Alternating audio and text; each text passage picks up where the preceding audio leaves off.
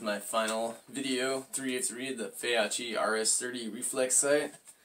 And man, for the price of this sight, it is just an absolute steal. This thing performed 100%. I had no issues with it. I love the button click brightness adjustments as opposed to most of them they have the dial you have to turn, which is a pain in the butt. And then to turn it off, you just hold it down and it shuts off.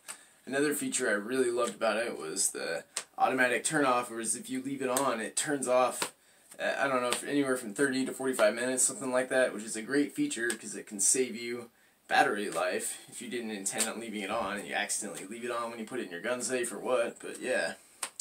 I mean, this thing just works great, and I would highly recommend it to anybody looking for a reflex sight. I wouldn't even consider it an entry-level reflex sight because it performs higher quality than most entry-level reflex sights and probably comparable to something more along the $100 price range.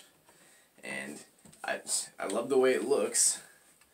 I love the red on the outside and then got a nice wide angle of view and a couple things I heard online on the reviews they're saying they couldn't get the reticles centered.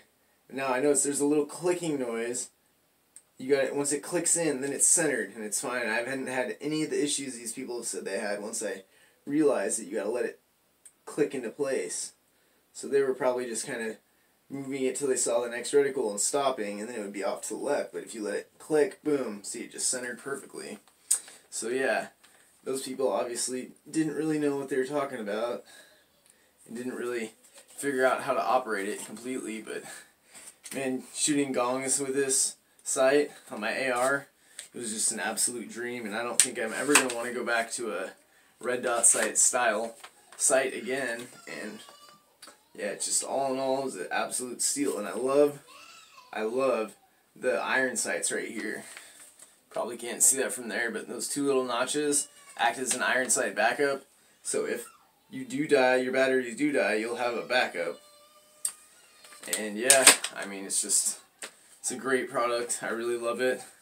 And I think I'm going to start buying more products from Feyachi. I'll even get a reflex sight for all my other guns that are using red dot sights right now.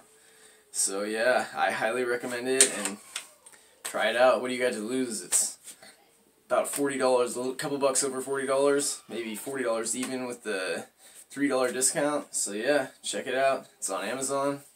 I'll uh, put the link to the item on Amazon in the video description. And yeah, just wanted to let you guys know what I thought about it. Oh, also, I wanted to show you some of the fun I had with it, shooting this steel gong. Got quite a few hits on it.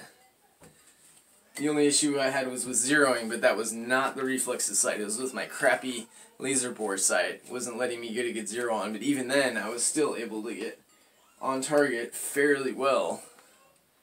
So yeah, highly recommend it. It's a great product, worth the price. worth more than the price, honestly. It's just an absolute steal. If you're in the market for a reflex sight, look no further than Amazon and Feyachi.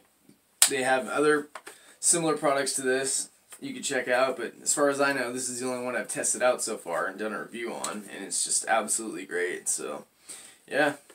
Well, if you liked my video, give me a like, and uh, give me a subscribe too. It really helps my channel out. I'm a new channel. I'm still growing. So all the support I get is very much appreciated. And thanks again for your guys' support.